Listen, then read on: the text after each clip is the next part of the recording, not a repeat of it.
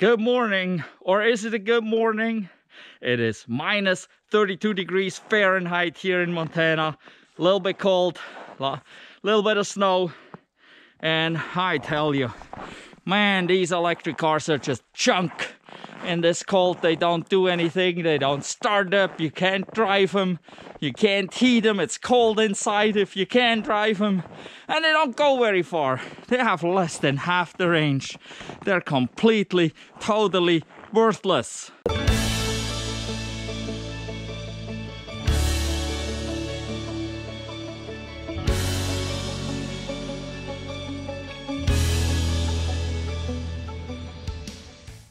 So, don't believe that guy in the intro, whoever he was. I mean, he was wearing a face mask probably to, hate, to hide his face from you. but hey, it's the time of the year when you get to hear these things on social media and everywhere. They blow up stories about EVs, how bad they are. Well, I tell you what, this is our sixth winter here in Montana with our EVs we had multiple. Right now we have this 2018 tesla model 3 that we had since new. We have this 2013 tesla model s rear wheel drive that we had since 2021 and in between we had the 2020 chevy bolt and we went through a winter with it. It did just fine as well. So their stories you see. Don't believe them they're overblown okay? So one of the weird things is when I first got an electric car back in 2018, people would ask, how does it do in the winter? And I was always confused, why would they ask me that? It was in the middle of summer. But then eventually it clicked in my head and I figured it out. Well, because internal combustion engine vehicle, they're gas cars, they're diesel trucks out here, they don't work in the winter.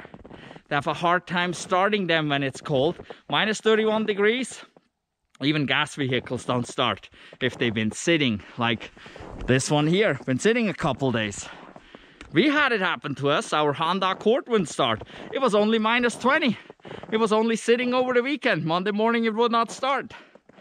So what do you do? Well you have to plug in your ice vehicle. Yes isn't that kind of weird? You plug in your uh, internal combustion engine vehicle that runs off gas or diesel so that you can start it.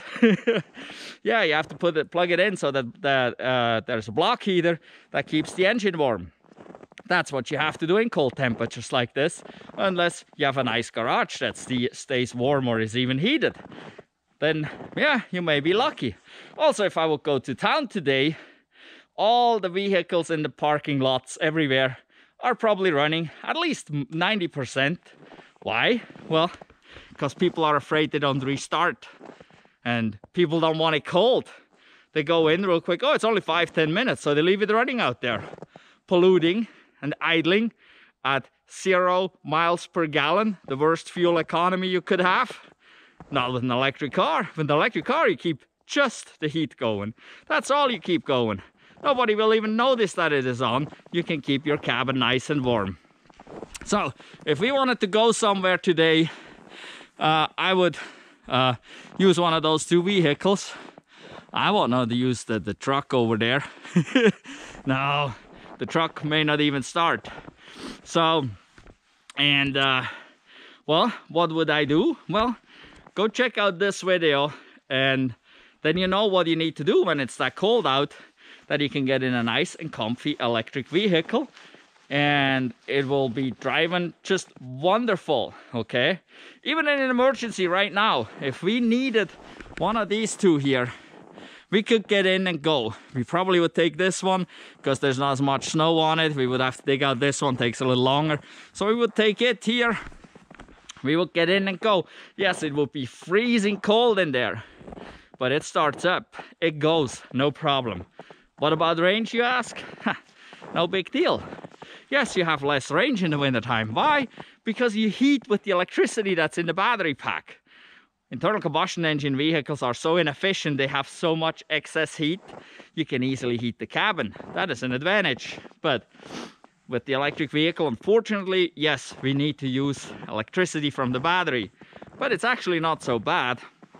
Um, we still make it on our trips in the wintertime. We still make it from here to our supercharger in Butte if we go that direction 150 miles uphill battle, 2000 feet elevation gain, no problem. And that's all that matters. And there we want to break anyway after a couple hours of driving.